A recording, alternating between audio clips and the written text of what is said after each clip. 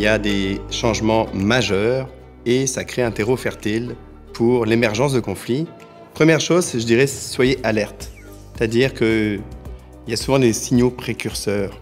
Surtout ne pas adopter la stratégie de l'autruche et d'assumer que le conflit va disparaître de lui-même.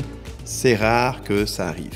Je vais vous donner une, une petite technique en cinq étapes pour intervenir directement auprès d'un de vos employés qui, par exemple, lui travaille au bureau, ses collègues travaillent en télétravail et il a l'impression que le traitement est inéquitable. Première étape, tout simplement, c'est de valider.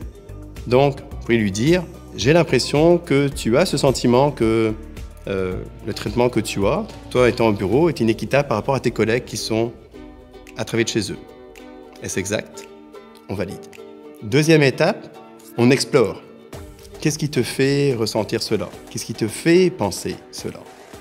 Troisième étape, on fait preuve d'empathie, on peut se mettre à sa place. Donc dans ce cas-là, on va lui dire, écoute, je peux très bien te comprendre, si je mets à ta place, c'est tout à fait normal que tu ressentes cela ou que tu penses cela.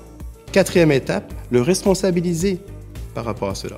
En lui posant la question, quelles sont tes attentes envers moi, ton gestionnaire?